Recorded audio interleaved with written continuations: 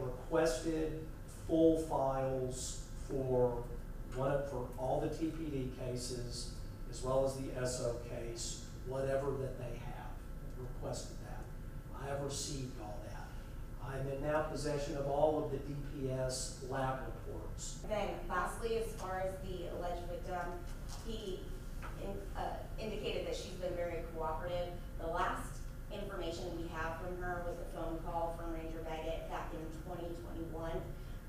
idea if she has ID'd him at all, if they've done any sort of lineup, if they're All right, we're in recess.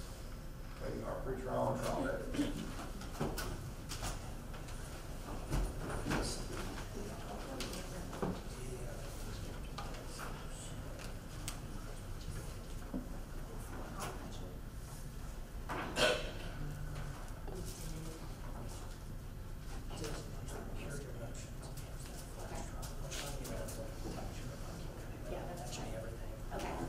Okay, Seriously, I'm gonna be able to